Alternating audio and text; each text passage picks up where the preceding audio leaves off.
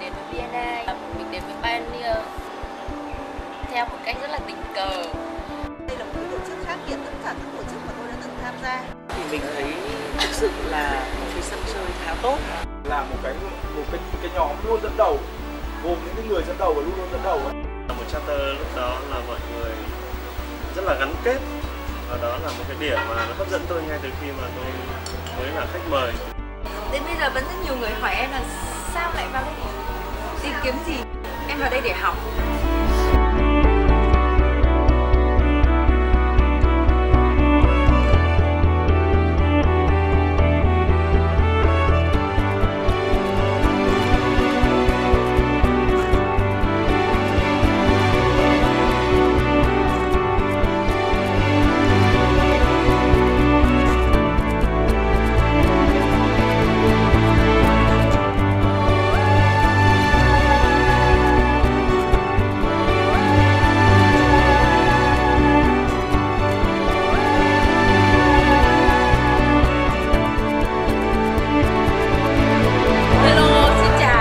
các bạn đã đến với buổi học uh, ờ,